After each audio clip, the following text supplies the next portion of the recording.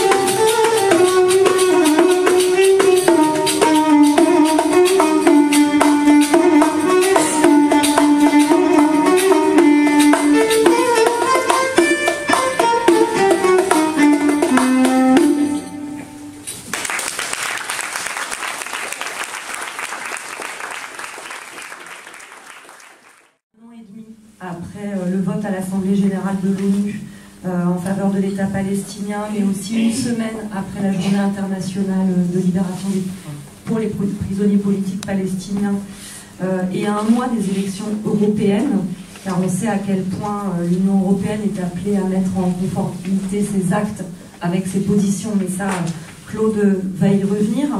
Euh, c'est aussi un moment particulier en France où des engagements ont été pris par le président et, et pas respectés. On voit même que euh, les relations euh, menées depuis le début de son mandat euh, sont assez peu claires, on va le dire comme ça, mais, mais Claude, Claude y reviendra.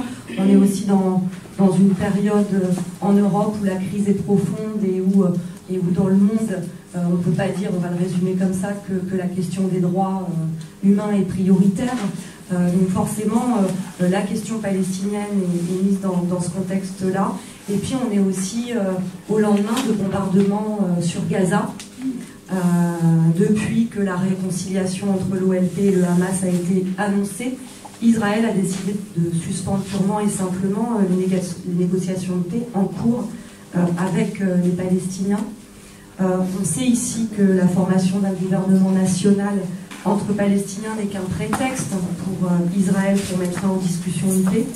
le gouvernement israélien a fait obstruction au processus de paix durant neuf mois, en continuant à commettre des exactions, en poursuivant sans relâche la colonisation, à poursuivre l'écrasement de la Palestine et n'a même pas honoré la concession euh, qu'il avait faite, à savoir la libération de Palestiniens emprisonnés euh, depuis des décennies.